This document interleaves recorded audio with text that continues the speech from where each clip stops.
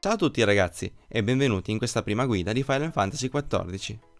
In questo video voglio introdurvi a questo fantastico MMORPG e aiutarvi a comprendere meglio alcune meccaniche e nozioni basilari. Cominciamo subito con le razze disponibili, ben 8 a disposizione dopo l'aggiunta delle due nuove razze introdotte dall'ultima espansione Shadowbringer. Ogni razza avrà un sottotipo o etnia, che non avrà un impatto nel gioco a livello di statistiche, ma solamente e puramente estetico. La parte della personalizzazione estetica è curata nei minimi particolari.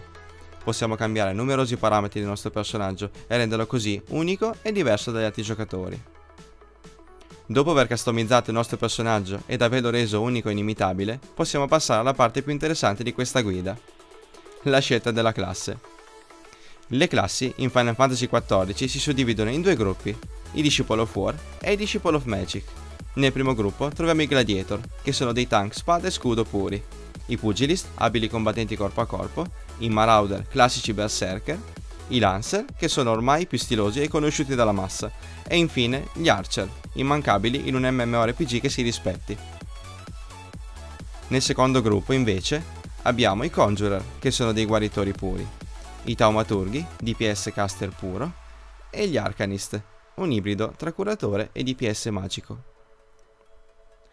Non perdete troppo tempo nella scelta della classe iniziale, perché una meccanica molto speciale e unica del gioco vi permetterà di accedere a tutte le classi disponibili in game. Per concludere la vostra creazione del personaggio, ovviamente la parte più difficile, la scelta del nome.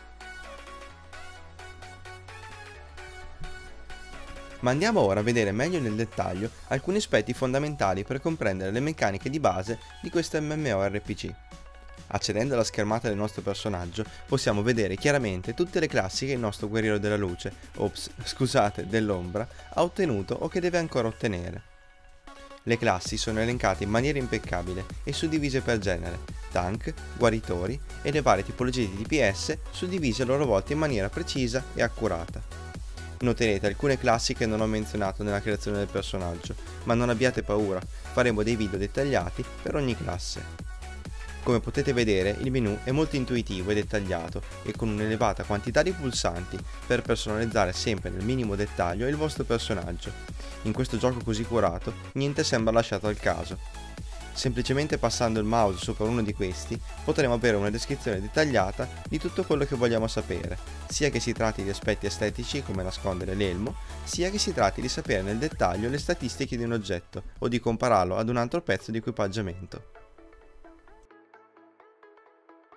Spostiamo ora l'attenzione ai tre pulsanti sopra la nostra arma equipaggiata e noteremo un'opzione Gear Set List. Ricordate della meccanica molto speciale? Bene, in Final Fantasy XIV potremo cambiare in qualsiasi momento la nostra classe semplicemente cambiando l'arma equipaggiata e il Gear Set List è un'invenzione meravigliosamente intuitiva e funzionale del gioco per permetterci di creare set completi delle nostre classi e di cambiare velocemente tra di loro senza difficoltà. Comodo, no? In aggiunta a tutto questo, il gioco offre un'ulteriore intrigante meccanica, i job. Tutte le classi di partenza hanno una, una loro specifica evoluzione, cambiano cioè completamente faccia dopo il raggiungimento di un determinato livello e il completamento di alcune determinate quest specifiche. Nella tabella, che vedete alla vostra sinistra, vi è un elenco completo delle classi e le loro relative evoluzioni in job.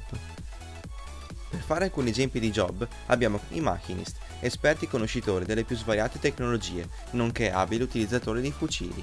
I protagonisti dell'ultima espansione, i Dark Knight, formidabili tank che utilizzano poteri dell'ombra per indebolire i loro nemici e prevalere in battaglia. Ed infine gli Astrologian, impareggiabili guaritori che sfruttano i poteri dello spazio e del tempo per guarire e potenziare i loro alleati in battaglia. Per completare il quadro delle classi e delle loro innumerevoli sfaccettature abbiamo infine un'ultima suddivisione, le professioni, o come vengono chiamati in Final Fantasy i Disciple of the Hand e i Disciple of the Land. Nei Disciple of the Land abbiamo tutte le professioni che raccolgono materie prime, come Botanist o Miner, mentre nei Disciple of the Hand abbiamo tutte le professioni che lavorano le materie prime, come Armorer o Goldsmith. Queste professioni funzionano in maniera simile alle classi e ai job dei quali abbiamo parlato. Per diventare ad esempio un botanist ci basterà equipaggiare un'arma da botanist e così via. Ovviamente dovremo sempre sbloccare prima queste sottoclassi attraverso delle quest specifiche. Non male come quantità di informazioni per essere un'introduzione, vero? Non preoccupatevi, perché nei prossimi video vedremo insieme nello specifico un argomento per volta, in modo da svelare insieme ogni segreto di questo magico mondo. Spero che il video vi sia stato d'aiuto nel muovere i primi passi in questo fantastico gioco.